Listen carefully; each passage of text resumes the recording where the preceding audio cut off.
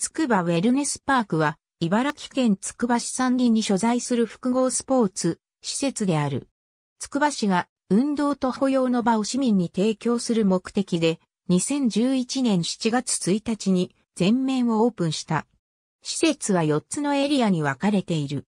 オープン当初より指定管理者制度が導入され、TPH ウェルネス推進グループが2019年3月まで運営、管理に当たっていた。2019年4月からライフテックつくばに運営、管理者が変更となった。第74回国民体育大会自転車競技のロードレース競技会で発着地点となった。ヘルスプラザ。隣接するつくば市クリーンセンターの余熱を利用した温浴施設や25メートルプールなどがある。関小チャレンジスタジアムサッカー及びフットサル施設。